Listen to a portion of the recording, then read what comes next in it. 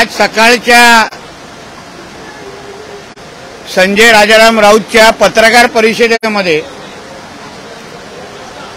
आमचे प्रदेश अध्यक्ष बावनकुळेजी जे महाराष्ट्रामध्ये एक ज्येष्ठ नेते आहेत मंत्रीही राहिलेले आहेत ऊर्जासारखं एक महत्त्वपूर्ण खातं अतिशय सक्षम पद्धतीने त्यांनी सांभाळलं. त्यांची लायकी काढण्याचं काम हा स्वतः नागडा असलेला संजय राजाराम राऊतनी केलेला आहे. त्याच्या म्हणण्याप्रमाणे उद्धव ठाकरेची लायकी कोण काढू नये आणि काढणाऱ्या लोकांची पात्रता काय? असा ह्याच्यासारख्या नालायक माणसांनी उल्लेख केला. मला संजय राजाराम राऊतला विचारायचं आहे की उद्धव ठाकरेच्या मागे बाळासाहेब ठाकरे हे नाव अगर काढून टाकलं तर उद्धव ठाकरेला कोण शाळेमध्ये पिऊनची नोकरी तरी कोण देणार आहे का? कोण क्लर्कची नोकरी तरी त्याला देईल का? सगळ्या गोष्टी बाळासाहेबांच्या नावाने खपवायच्या. त्यांचं वलय आणि त्यांच्या नावामुळेच आज उद्धव हे नाव किंवा उद्धव ठाकरे हे नाव महाराष्ट्राच्या समोर आहे. स्वतःचं कर्तृत्व शून्य आहे.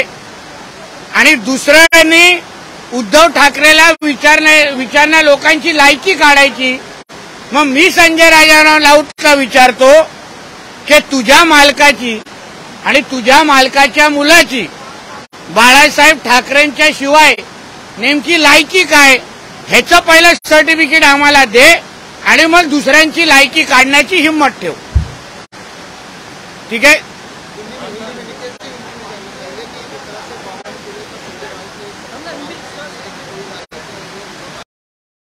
ऐसा है कि संजय राजाराम राउत ने आज सुबह हमारे प्रदेश अध्यक्ष बावन कुले जी की क्या लायकी है, ये पूछने की हिम्मत की।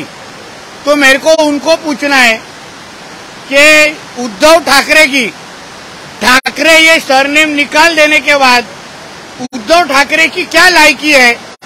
उद्धव ठाकरे को कोई क्लर्क की कोई नौकरी दे सकता है क्या? उद्धव ठाकरे ठाकरे सरनेम के बजाय निकाल के एक मिनट भी महाराष्ट्र में घूम के दिखाए। ऐसा चैलेंज मैं उद्धव ठाकरे को ये माध्यम से दूँगा। हमारे बावन कुले साहब खुद राज्य में मंत्री हो रह चुके हैं। पावर या ऊर्जा जैसे बड़ा डिपार्टमेंट संभाल चुके हैं। और आज महाराष्ट्र के, सब जगह घूम के भारतीय जनता पक्ष को बड़ा कर रहे हैं। जिसको खुद की पार्टी संभालने आई नहीं, जिसको खुद के पार्टी का सिंबल संभालते आया नहीं, वो अगर बावन कुले साहब को बोलने की हिम्मत रखता है तो उसने पहले बाला साहेब ठाकरे का नाम इस्तेमाल करने का बंद करना चाहिए और फिर महाराष्ट्र में घूम के दिखाना चाहिए।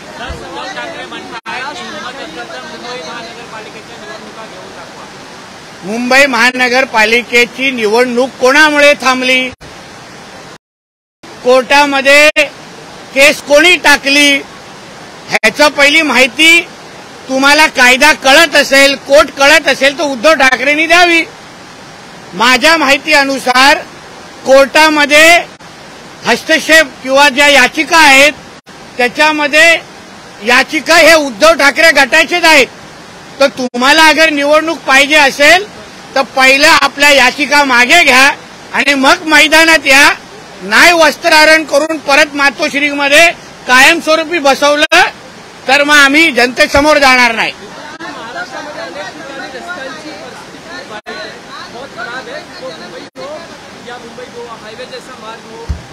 तो कई सड़कें हो विपक्ष जो रहा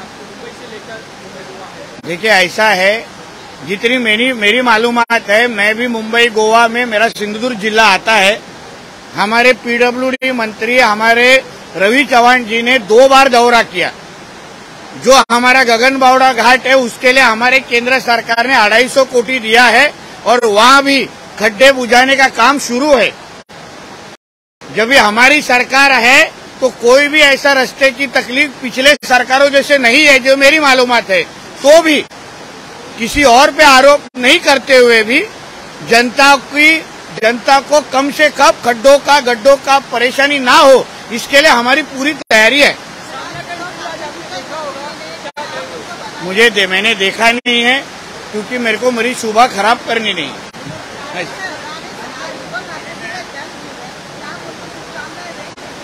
ऐसा है कि उद्धव ठाकरे का जन्मदिन ये जागतिक गद्दार दिन के साजरा करना चाहिए ऐसा हमारा बोलना है।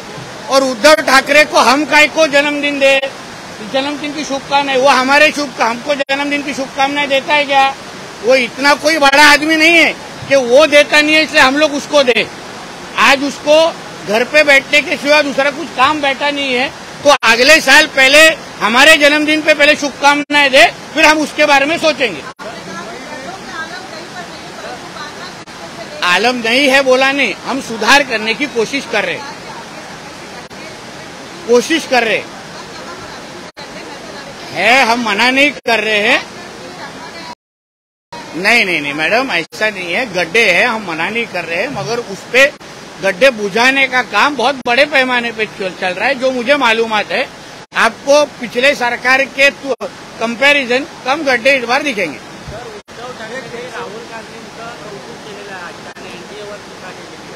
मी तुम्हाला तेच बोलतो ना, बाळासाहेबांचं जे जुनं भाषण आहे आता मी परत बोललो तर मला माझ्यावरती एलजीबीटी कम्युनिटी अंगावर येईल. काही भाषण मला प्रश्न विचारणार. पण मी वारंवार मी बाळासाहेबांचं जे जुनं भाषण मी परत बोलतोय जे जुनं भाषणचं परत परत उल्लेख करीन.